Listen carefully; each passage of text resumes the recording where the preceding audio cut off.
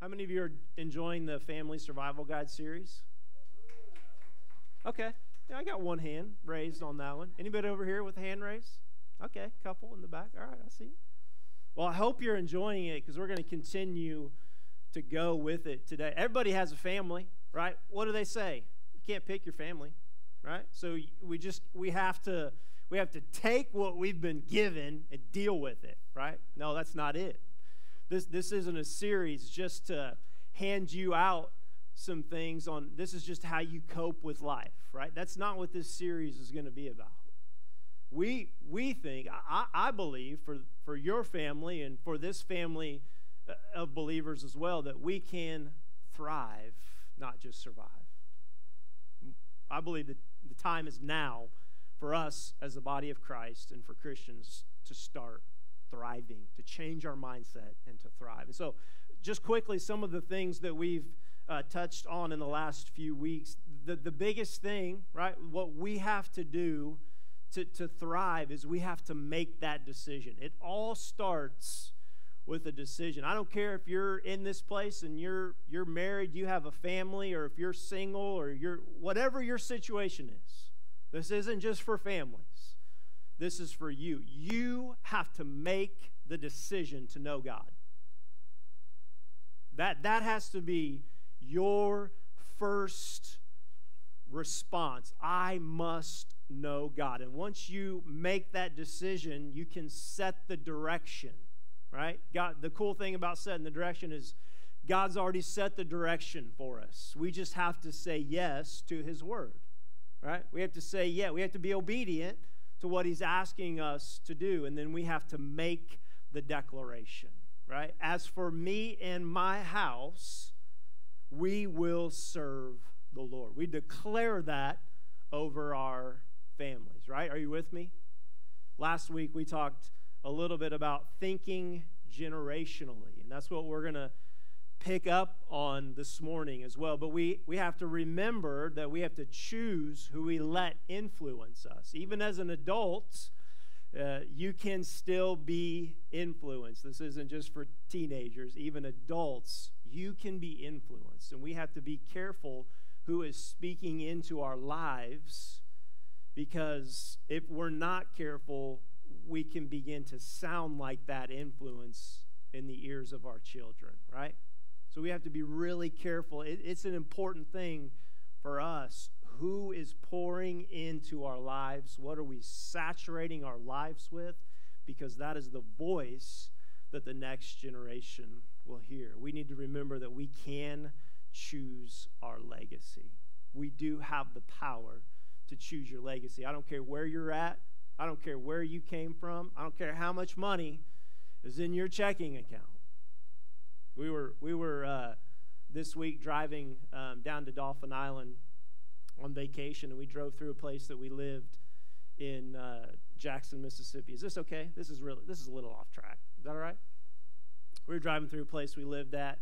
Every time I drive through that place, I went to college there for a year. The one thing I remember is how ridiculously broke we were. It, it, it's almost comical. I can remember having zero money, uh, bouncing checks. It, it, was just this. We shouldn't even have been allowed. We shouldn't have been allowed to be there. We were so broke, right?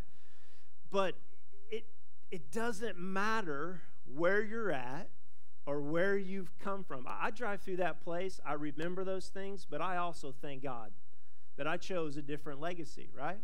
We chose.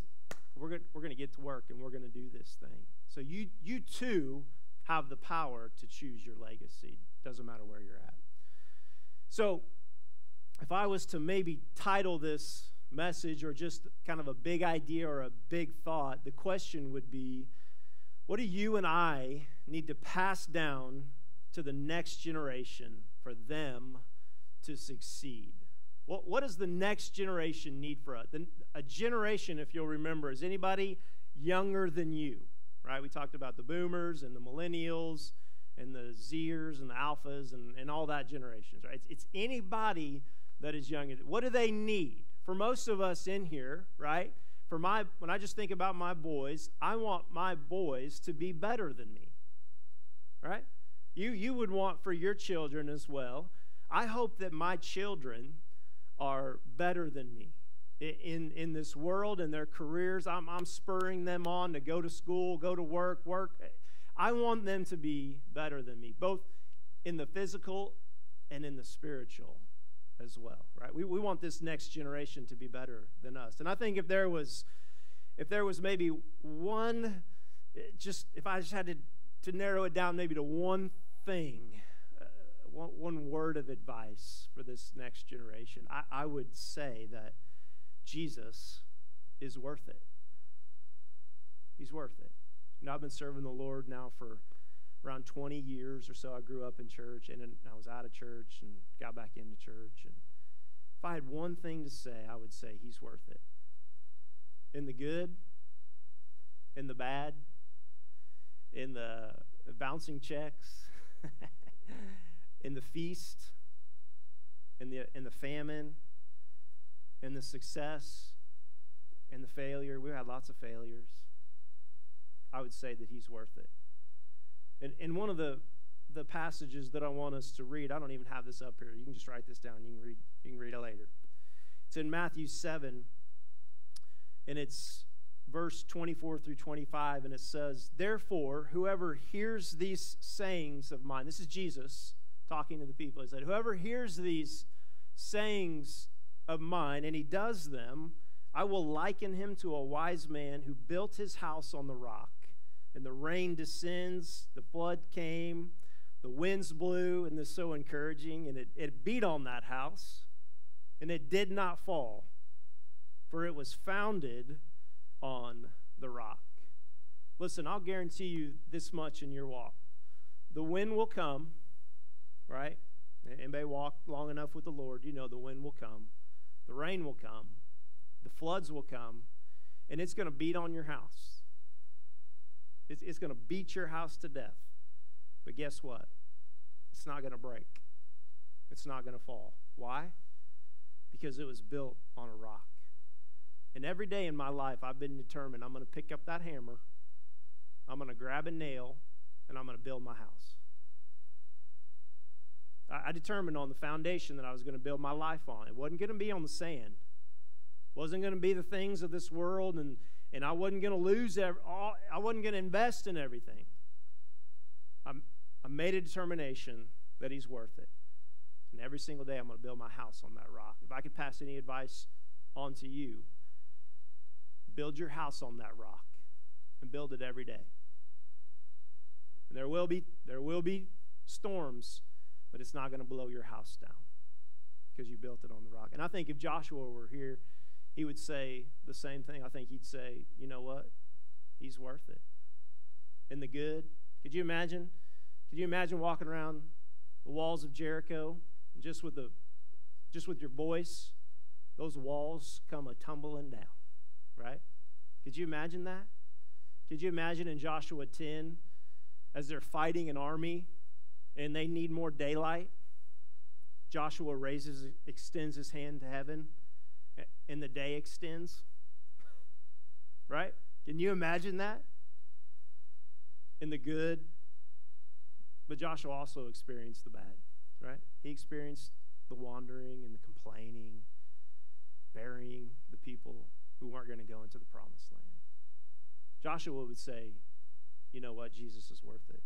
And there's a verse in Joshua that says this, and I love it, and I think it's for us.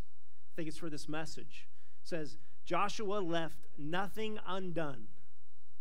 He, he turned aside from nothing of all that the Lord had commanded Moses.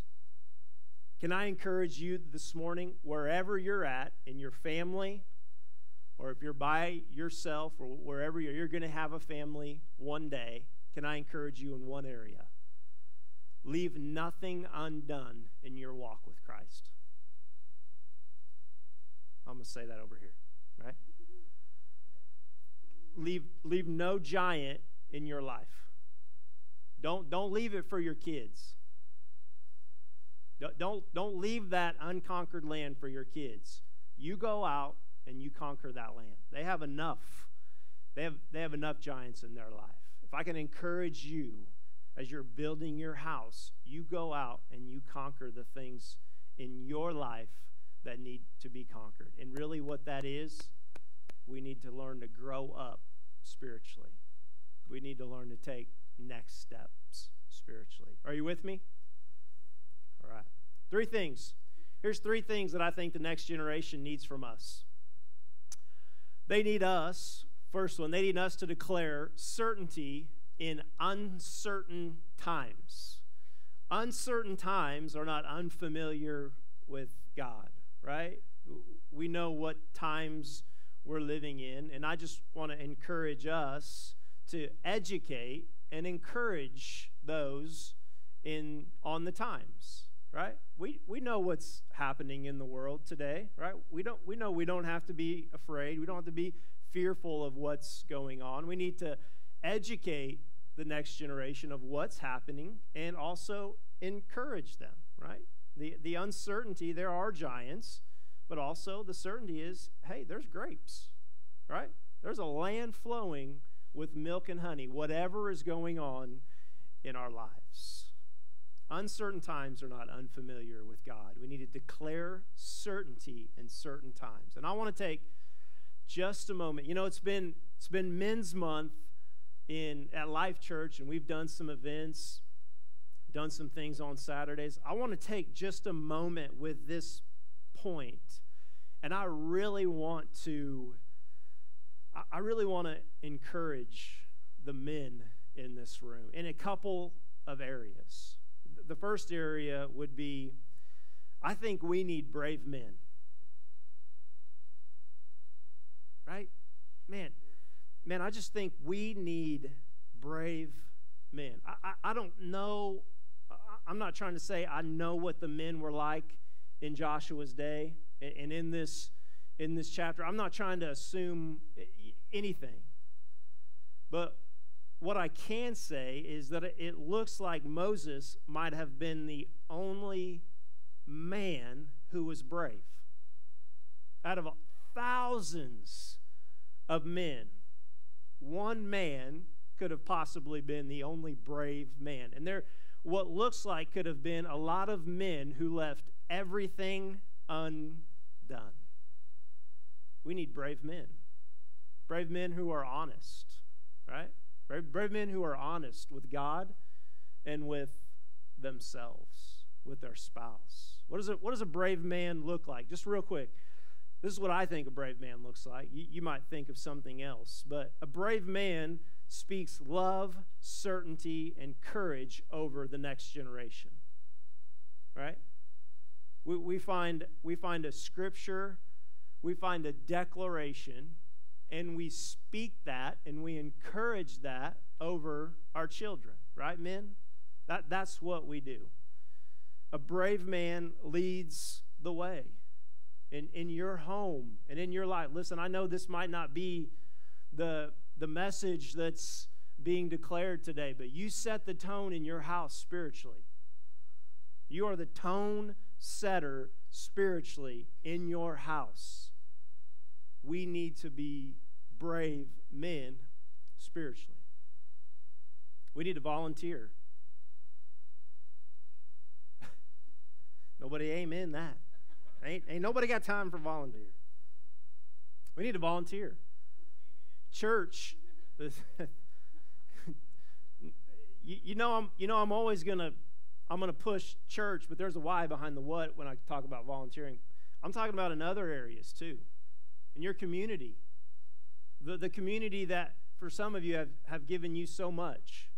Give back to that community that has given you so much. We, we need men, brave men, to lead the way in that, that area.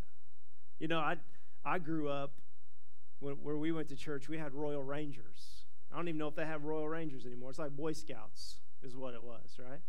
And, and we would send our boys, and there wasn't a man in that place that I didn't trust. I, in fact, I, right, I was like, my boys need to be around these men. I could name all the men there, right? Still to this day. We need men to be leaders in this community. Not, not only not only in the natural, but in the spiritual as well. Men, teach your family to fear God. It tells us in Psalm 112, 1 through 2, it says, Praise the Lord. Blessed are those who fear the Lord, who find great delight in his commands. It says in verse 2 Their children will be mighty in the land. The generation of the upright will be blessed. You know, I'm not I'm not scared of God. It, when I talk about fear, I'm not talking about being scared of who God is. I'm talking about teaching our kids to the fear, the reverence, and the awe of who God is. Brave men teach their kids fear God. Listen, we were out on the, the ocean this week, and you get about 40 miles out, there's not a whole lot of people out there, right? And there was a point where it was just the six of us and God out there, right?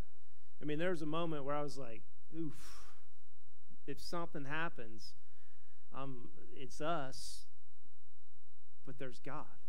And it, it, it was a moment where we just, where I stepped back and I, I realized how small I was and how big God was. And we got to see all these cool fish and all this water. And it was just like, I, I told Kelly, I was like, can you believe God made all this? it was unbelievable to see all these things. Brave men, we need to teach our kids and we need to declare certainty over their lives. Point two. Are you still with me? Second one is this they need us to help them know who they are and be confident and secure in their identity as children of God. Genesis 1:27 says, "So God created mankind in his own image. In the image of God he created them, male and female, he created them."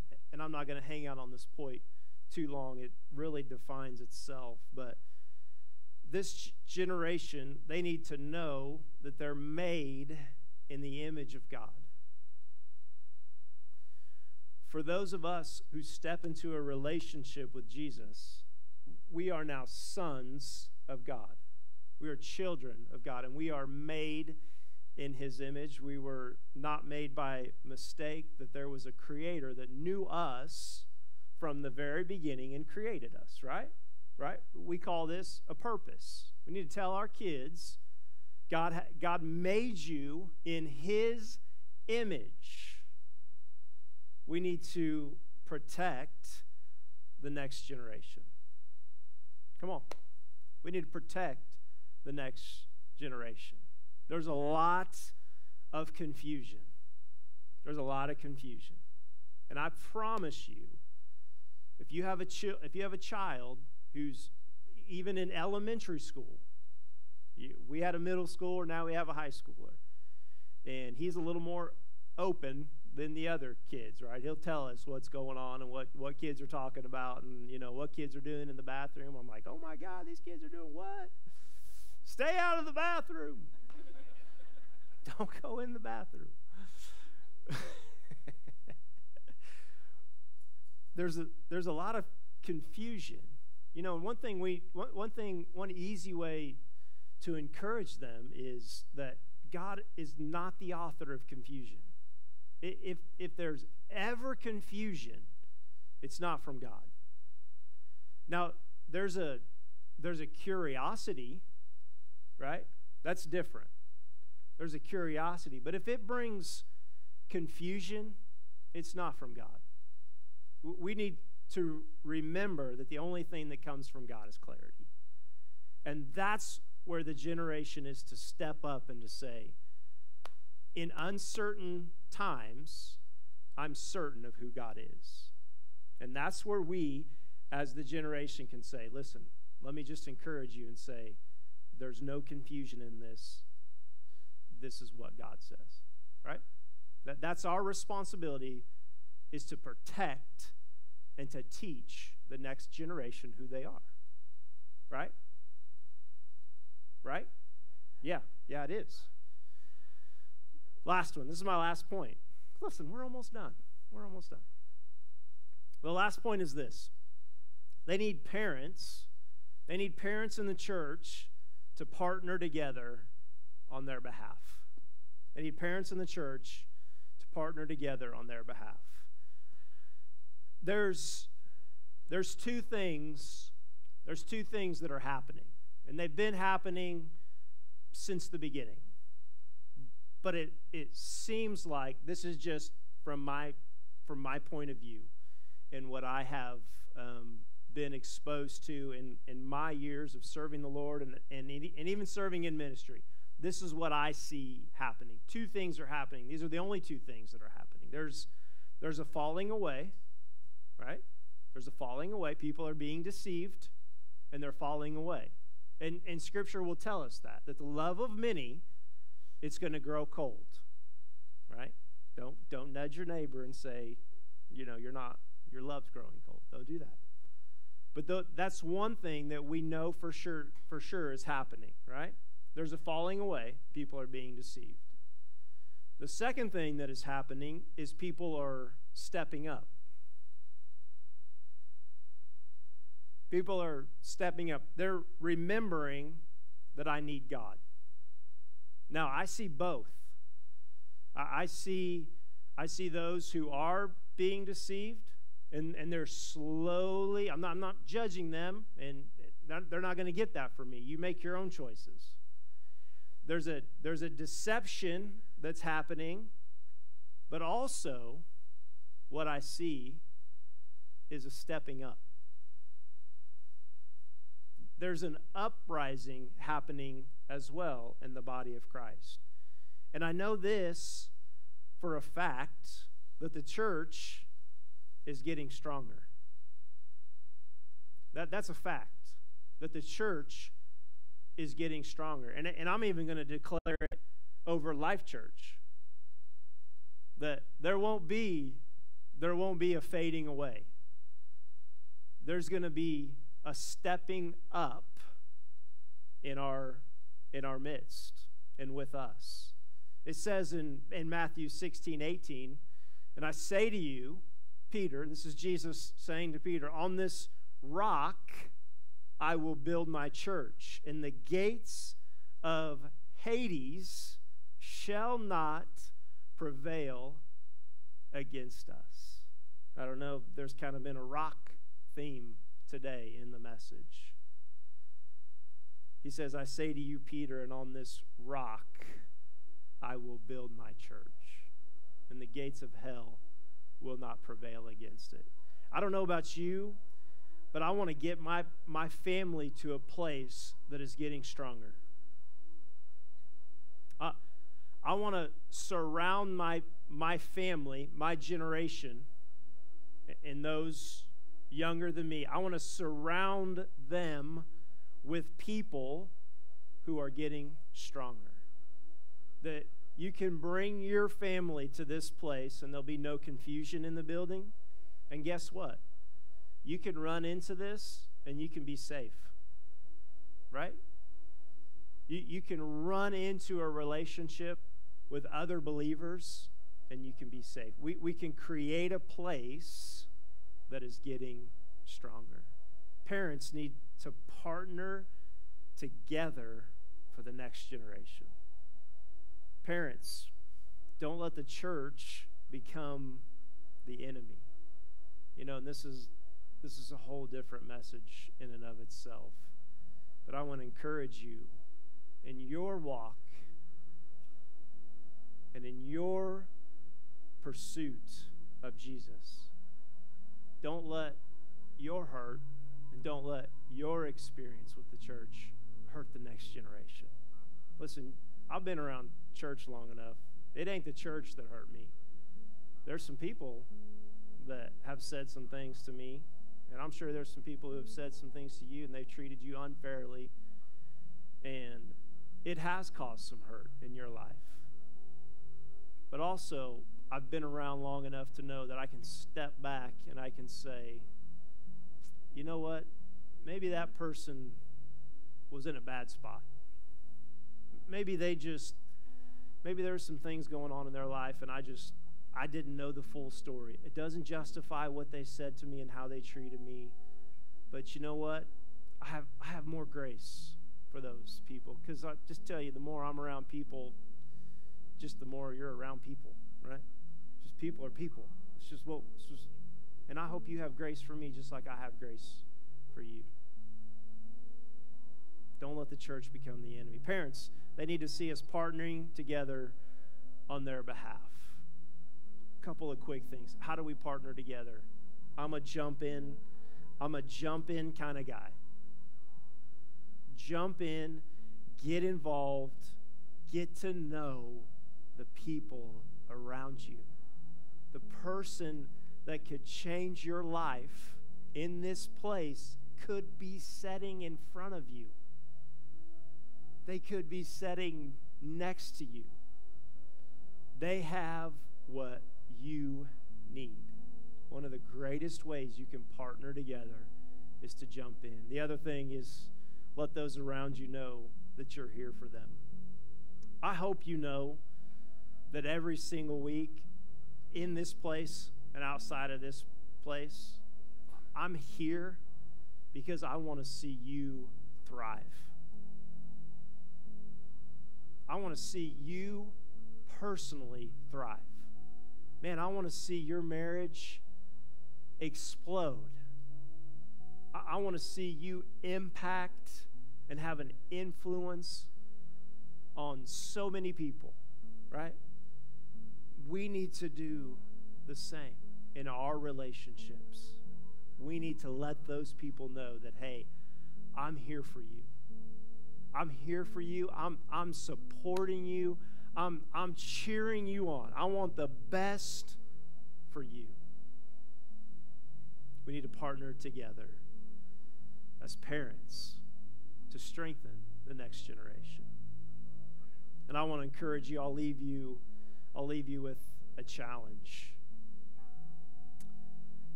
Don't build your life on sinking sand. Don't, don't build your life on sinking sand. Build your life on, on the rock. And you're probably in this place and you would say, you know what, I just, I've already started building, you know? I've already started, I've come too far. I've built my life on things that don't matter. Can I just encourage you this morning? Tear that house down. Tear that house down and start over. You have the opportunity today to make the decision, not only for your today, but for your tomorrow. I, build my house so that my kids and my grandkids and whoever else wants to, they can come into my house. I want to encourage you to build your house.